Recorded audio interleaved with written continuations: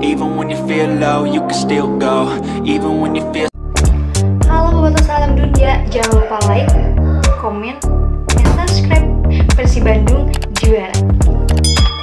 Media Malaysia menyoroti pelatih baru Persib Bandung, Bojan Hondak. Pelatih baru Persib Bandung, Bojan Hodak mendapatkan peringatan dari media Malaysia agar tidak bernasib sama seperti pelatih terdahulu sebelum Luis Milla, yakni Robert Alberts. Adapun media Malaysia yakni semuanya bola mewanti-wanti Bojan Hodak jika ada tekanan yang harus dihadapi pelatih berpaspor Kroasia itu. Juru racik anyar Persib Bandung, Bojan Hodak kembali mendapatkan peringatan ini dari media Malaysia terkait pressure dalam kurung tekanan yang berujung seperti nasib tak mengenakan pelatih Robert Alberts. Sebagaimana diketahui, Bojan Hodak resmi digayat oleh Persib Bandung dari Kuala Lumpur City Football Club yang berkiprah di Liga Super Malaysia dan telah tiba di Indonesia pada Jumat 28 Juli 2023. Setelah mendarat di Indonesia, Bojan Hodak tidak secara otomatis mengarsiteki Persib Bandung kontra Persik Kediri pada pekan kelima Liga 1 2023 per 2024. Namun demikian, pelatih asing asal Kroasia tersebut tetap menyaksikan langsung laga Persib Bandung kontra Persik Kediri di Stadion Brawijaya.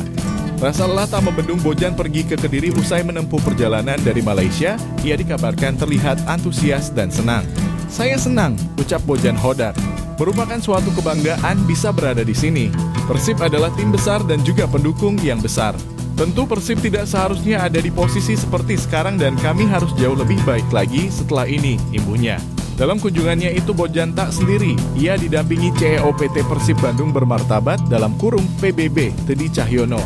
Bergabungnya Bojan Hodak ke Persib Bandung ini juga mendapat sorotan tajam media lokal Malaysia, salah satunya bahkan sampai memberi peringatan. Semuanya bola lewat artikel yang dirilis pada Jumat dalam kurung 28 Juli 2023 memberi peringatan kepada Bojan akan tekanan di Persib Bandung. Langkah Hodak terbilang berani sampai ia memilih mengundurkan diri dari kursi kepelatihan Kuala Lumpur City Football Club demi Persib. Tekanan yang dimaksud media Malaysia itu berasal dari pendukung fanatik klub berjuluk Maung Bandung ini. Perbedaan besar antara fan Kuala Lumpur City Football Club dengan klub Kota Kembang diyakini akan membawa Bojan ke level karier lebih tinggi.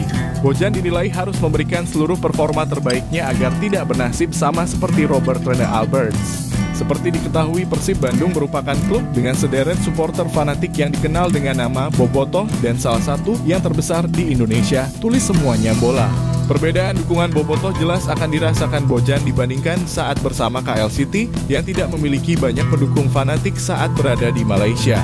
Tekanan tentu akan dirasakan sang manajer saat berada di sana dan Bojan perlu memastikan tim yang dipimpinnya dalam performa terbaik. Jika tidak ingin suara negatif terdengar di stadion dan di media sosial seperti ex Persib Bandung, pelatih Robert Alberts pernah merasakan imbuh mereka. Robert Rene Alberts harus mundur dari kursi kepelatihan Persib di awal musim kompetisi 2022 per 2023 usai rentetan hasil buruk. Luis Milla didatangkan Persib sebagai penggantinya, namun di awal musim ini juga bernasib sama seperti Robert.